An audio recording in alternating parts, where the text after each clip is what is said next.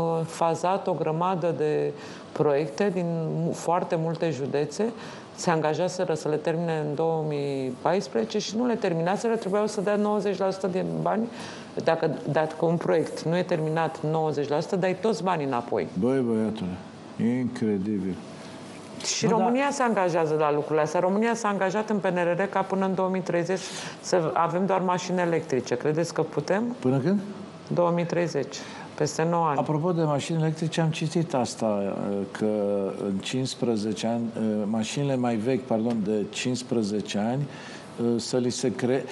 Adică nu poate să vină statul să zică, bă, vi le luăm de acasă. Probabil prin taxe, prin impozite, prin facilități față de electric sau friendly. Și faptul că nu vor mai putea merge prin centru.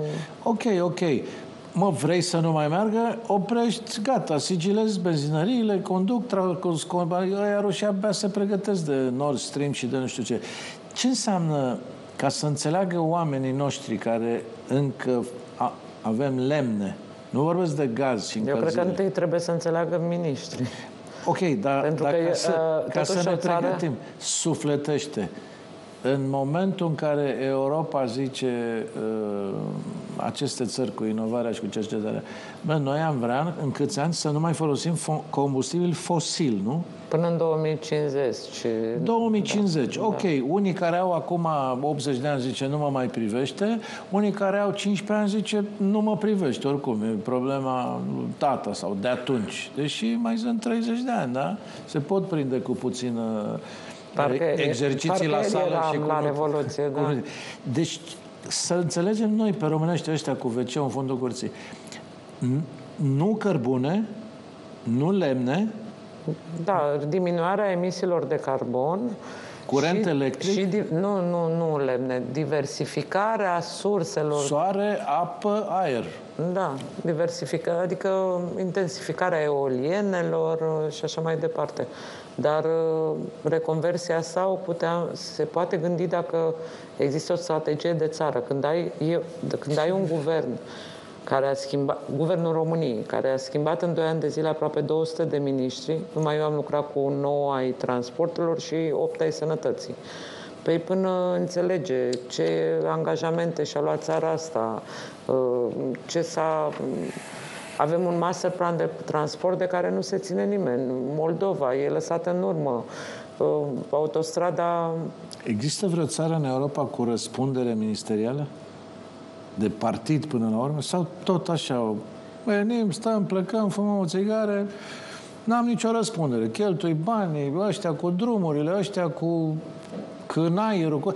Pare că nimeni nu are nicio responsabilitate în țara asta. Eu, e și o descurajare de e și o descurajare de folosirea fondurilor europene, după părerea mea. Adică acolo unde noi la Bruxelles încercăm să simplificăm, România este una din țările care adaugă uh, mult mai multe condiționalități care nu vin de la Bruxelles. Degeaba de lumea vine pe de Bruxelles. Cum? Adică se, se numește fenomenul de gold plating, deci noi încercăm să, într-adevăr, toleranță zero față de fraudă, da? dar să fie o uh, uh, un o echilibru între simplificare și controlul banilor europeni. Pentru că un beneficiar de fonduri europene trebuie să se, uh, să se uh, concentreze mult mai mult pe implementarea proiectelor decât pe, pe hârtiile pe care trebuie să le dea. Pe, uh, adică eu, de pildă, văd oameni tineri și am văzut foarte mulți oameni în multe țări unde au spus nu mai vrem să folosim fonduri europene pentru că birocrația e atât de mare. Am venit pentru perioada aceasta, am făcut o comisie cu 80 de măsuri de simplificare, care nu se, mai, nu se aplică în România, deși au fost votate de Parlamentul European. Uh, au venit tot felul de, uh, de libertăți legate de coronavirus. Se pot muta fonduri dintr-o parte în alta. Sănătatea este prioritate în toate. Dar okay. cu toate acestea, România nu a folosit aceste posibilități pentru că le e frică.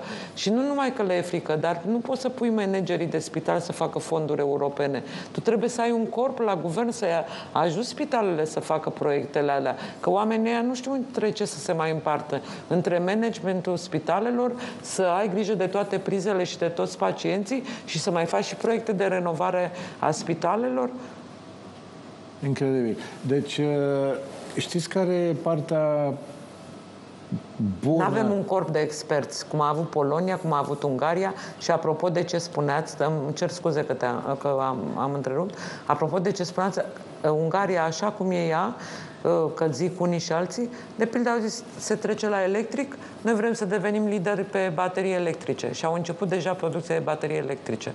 Și au zis că vor să devină lideri în Europa Centrală și de Est pe baterii electrice. Noi nu avem nicio strategie. Nicio strategie, nimic nu vrem să fim lideri.